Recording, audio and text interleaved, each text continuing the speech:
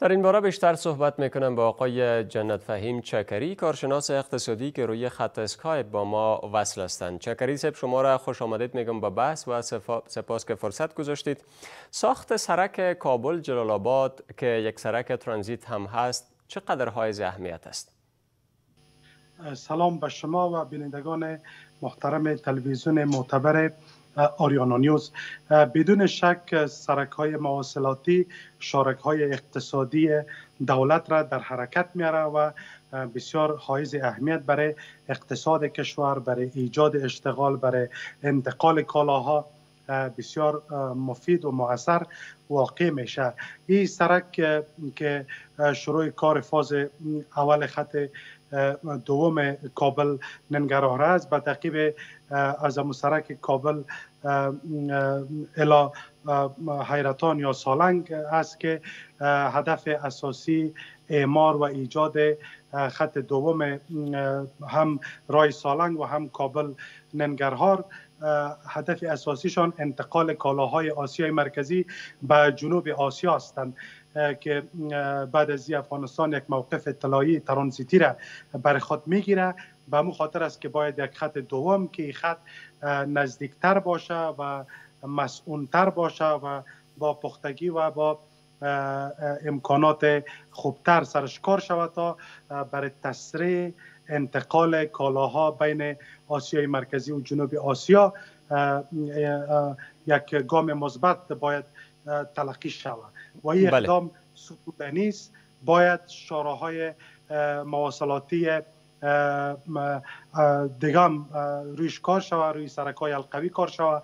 یعنی اقتصاد کلان کشور بحث سرکای مواصلاتی تشکیل میده بله تشکر این که حالا این پروژه هم افتتاح شده و با توجه به آنچه شما گفتین که کالاها را از می‌تونه از آسیای مرکزی به آسیای جنوبی هم انتقال بده چالش جدی فراراه این پروژه آیا شما می‌بینین؟ یک کمی که من شنیدم که پول اعمار از این سرک از حق ترانزیت واسطه های نقلیه گرفته میشه و یکی از گزارشات دیگر هم که من خواندم از یک تیر موتر کلان 100 افغانی گرفته میشه و از تیر موترهای خرد 20 افغانی گرفته میشه.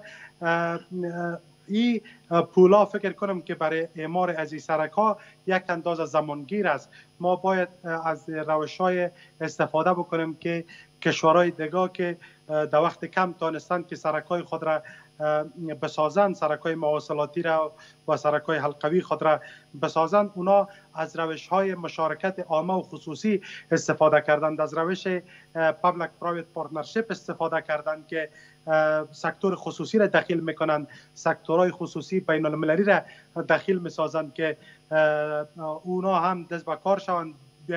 در افغانستان و برای آبادانی کشور به شکل جدی به شکل سریع به شکل حرفوی دست به کار شوند. یعنی تنها دولت ایره نمی‌تونه که تمام سهولت های لازم را برای یک کشور دولت ایجاد بکنه. باید بله.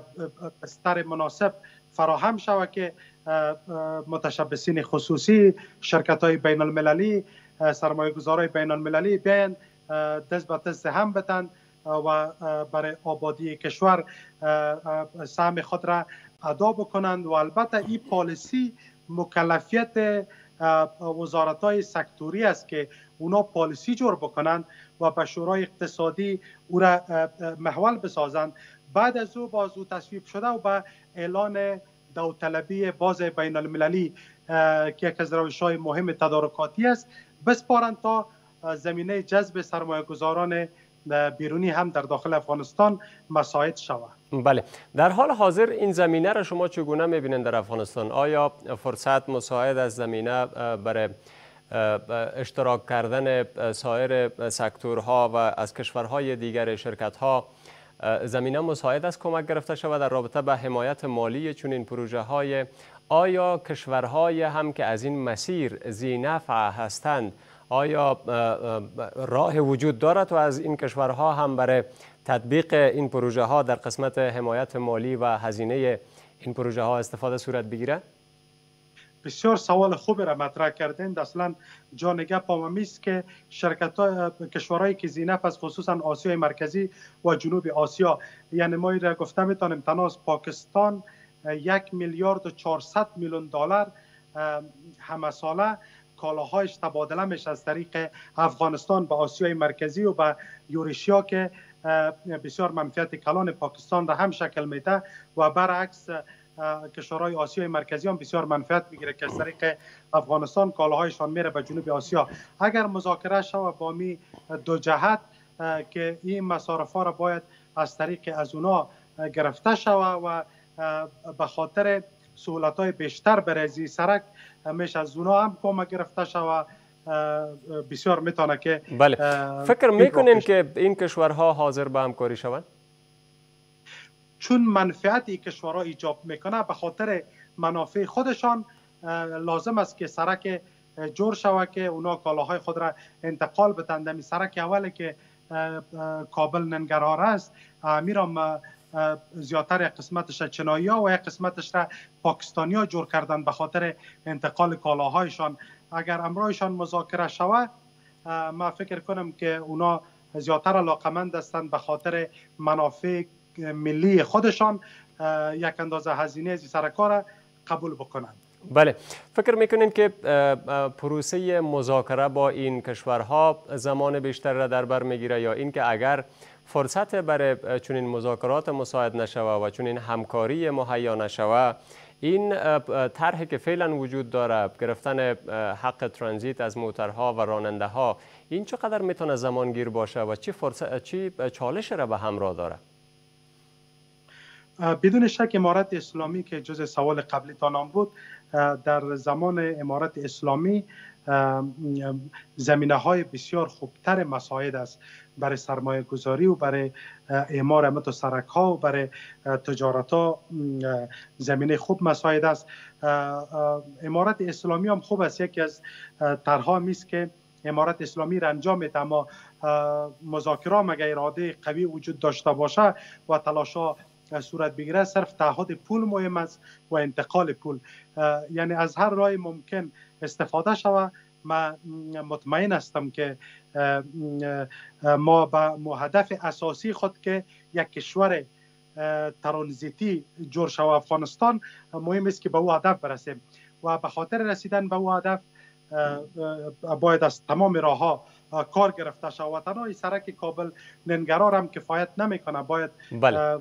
تمام سرک های مواصلاتی را سرش کار شود و سر سکتور زراعت سر سکتور صنعت سر سکتور بخشای ارائه خدمات که اونا یک آید کلان را به کشور میاره سرشکار شود. چون مکلفیت دولت امیست که باید تمام چرخش های اقتصادی به چرخش در بیاید تا اواید بیشتر به خزینه دولت وارد شود. بله.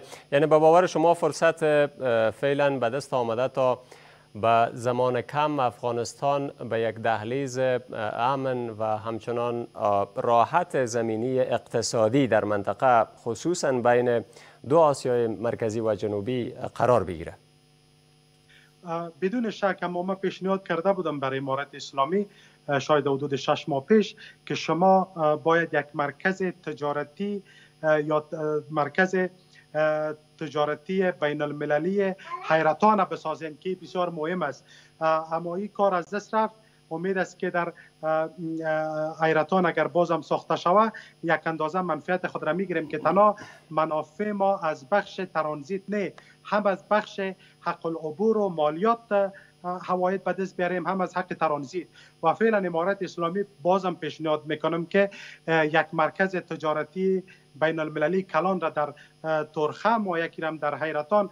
بسازه اگر کالاهای افغانی میره به پاکستان خصوصا سبزیجات میوجات و اونا پاکستانی ها طرفه گمرکی را بالا می‌کنند بالای افغان ها یا دروازه های خود را بسته می‌کنند بالای کالاهای افغانستانی. دمت یک وقت این میوجات تازه سبزیجات اینا باید در سردخانه هایی که امارت اسلامی او را می‌سازد در ترخم در اوج نگهداری شود. باز پاکستان به مهدف شومش نمی‌تونه برسه که کالاهای تاجرای افغان از بین بره و فرسوده شود. سپاس از حضورتان.